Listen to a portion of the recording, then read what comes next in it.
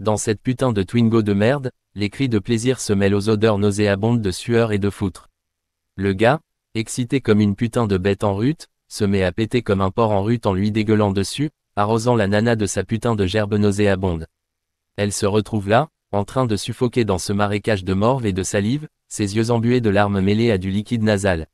Le couple dépravé se livre à une orgie de débauche, leur corps en sueur glissant sur les sièges tachés de moisissure et de liquide corporel dégoulinant. Le volant, autrefois symbole de conduite innocente, est désormais souillé de sperme et de gerbe, semblable à un putain de jouet sexuel abandonné après une séance de baisse torride. Dans ce foutu cocon de luxure dégénéré, chaque mouvement est une symphonie de perversion, chaque gémissement est un blasphème contre la morale.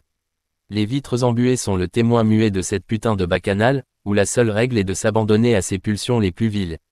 Et alors que le couple atteint l'apogée de son plaisir dégoulinant, le volant reste là, maculé de foutre, de gerbes et de morve, une relique grotesque de cette putain de nuit de luxure sans fin, où la dépravation n'a pas de limite et où la décence se noie dans un océan de saloperie.